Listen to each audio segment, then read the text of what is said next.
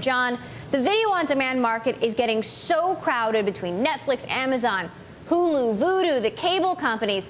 Can Verizon and Redbox really compete here?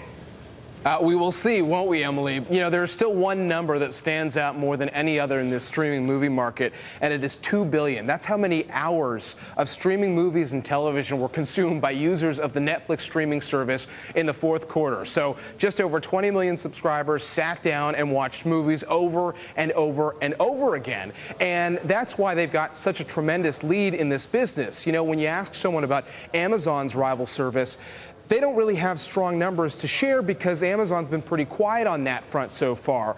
And so at the end of the day, while Coinstar feels this need to get into this business because so many people are enjoying streaming content, the question is, can you come up with a service that will actually get people to forget about cable in the way that some people have chosen to forget about cable and go for Netflix. I mean, think about it anecdotally. How many people do you know who have said, I'm going with Amazon and I'm, I'm cutting my cable?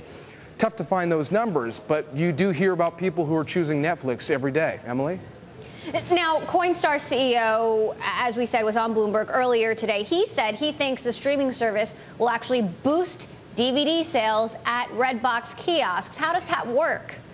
I mean, it's it's an interesting point, and that is his argument. But viewers should know that Reed Hastings, the boss at Netflix, has an entirely different uh, argument on this. Remember when Netflix came out with their quarterly results, what Reed Hastings said was, look, we've got roughly 11 million DVD subscribers right now, and we're expecting that that number is going to steadily decline every quarter forever. Forever is the argument that he put forward. So clearly you've got two different uh, schools of opinion on that. Emily? All right, thanks for that. Our senior West Coast correspondent, Jon Erlichman.